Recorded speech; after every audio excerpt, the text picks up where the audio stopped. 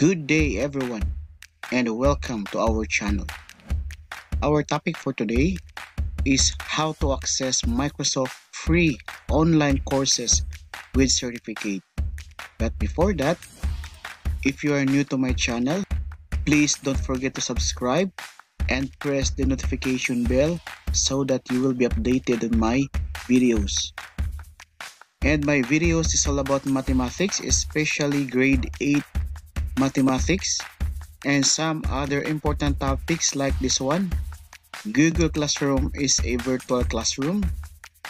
How to claim your Microsoft Webinar e-certificate using Facebook as a virtual classroom. That I'm using this one to communicate my student, especially now that we are in the middle of this COVID-19 pandemic. Okay, so how to access Microsoft free online courses with certificate. Using your preferred browser, type education.microsoft.com. Okay, so press enter and this will appear on your screen Microsoft Educator Center and click sign in. After you click that one, this will appear on your screen and enter your email address, phone, or Skype ID. But if you don't have any Microsoft account, you can create one. Just click create one. Alright. Okay. So ito na po the Microsoft Educator Center. So nakalagin na po tayo. And nakikita natin dito sa taas, training, lesson plans, programs, and resources. If we click training, there's a drop down menu, courses, learning paths, webinars, and online events. And for the lesson plans, we have Hacking STEM, Minecraft Education Edition, Skype in the classroom. And for the programs, we have Microsoft Innovative Educator Programs, Student Teacher Education Program, Global Training Partners Program, and Showcase School Program. And for the resources, if you click that one, this will appear on your screen. All the resources like this one, activities for ages 3 to 6 years old, activities ages 6 to 9, and if you scroll down, there's a lot of resources. Okay, so since we're talking about the free online courses, I will show you my badges and certificates. So click this profile icon and click my profile.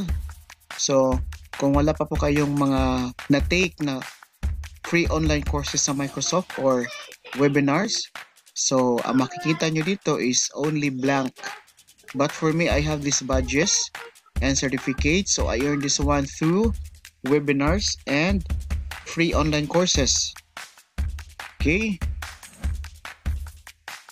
So, kung makikita natin dito, may nakalagay view details and certificate. If we click that one this will appear on your screen. The title of the course like this one windows 10 and classroom agility.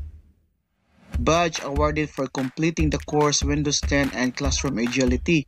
If we click this one view certificate okay this will appear on your screen the certificate of course completion your name has been awarded a certificate for successfully completing the following course Windows 10 and Classroom Agility. Estimated duration 30 minutes and the date. Okay, so always remember na sa lahat ng mga free online courses na na-take up nyo, meron siyang badge and certificate. So lahat na nakikita nyo doon sa my profile, click nyo lang yon tapos view certificate. Okay? So since we're talking about the free online course or the free online courses, click training and click courses. So there's a lot of free online courses. Okay? If we scroll down, marami pa po doon sa baba. And if we click one of those free online courses, like this one, you can see the title and the description, the course description, and the recognition. Like this one engaging to the first century learners equivalent to 1000 points. And if you want to take this course just click start course. Okay?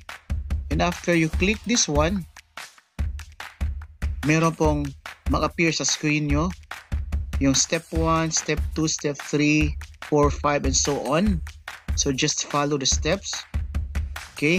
And then at the end of the course there's a assessment or an evaluation. So it means merong quiz. And you have to pass that quiz. 80% passing sa quiz ng Microsoft online courses.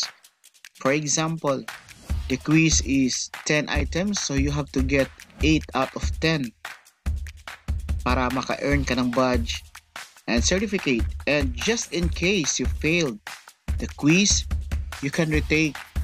Okay you can review the course and follow again the steps and then retake the quiz. Okay? So once you're done go back to this one. Click your profile icon and my profile. Tapos may makita ka ng badge. Okay alright so next let's go to webinars and online events so still on the training click webinars and online events and this will appear on your screen the schedules of the webinars and online events. For example, this one, July 23, we have Jumpstart students for the new normal, developing sustainability strategies for restorative practice. Okay, so once you click register, okay, this will appear on your screen. The schedule, okay, like this one, 9 a.m. to 10 a.m., 10 a.m. to 11 a.m. And if you click the title, you can see the speaker. Just click the join the team session and Microsoft tools that will be used in this training is OneNote like this one once matapos mo na yung webinar okay may makakita kang badge dito. Kagaya nito Certified Microsoft Innovative Educator. So I earned this one through a webinar. And you can click view details and certificate. But before that at the end of the webinar maibibigay na code yung speaker. And you have to enter that one here redeem code. And this will pop up on your window type the code and redeem once you click redeem may mag pop up na congratulations you have completed the webinar or the training okay? And aside from that you can view your transcript okay this one. Kumbaga parang transcript of records. Once you click view transcript, this will appear on your window. All the courses or the webinars na natapos mo. Okay, may nakalagay na description tapos yung duration niya. Okay, so I hope na makatulong po to sa inyo. Okay, especially for our students, our co-workers, okay, regards with our professional development. And that's all for today. See you in my next video.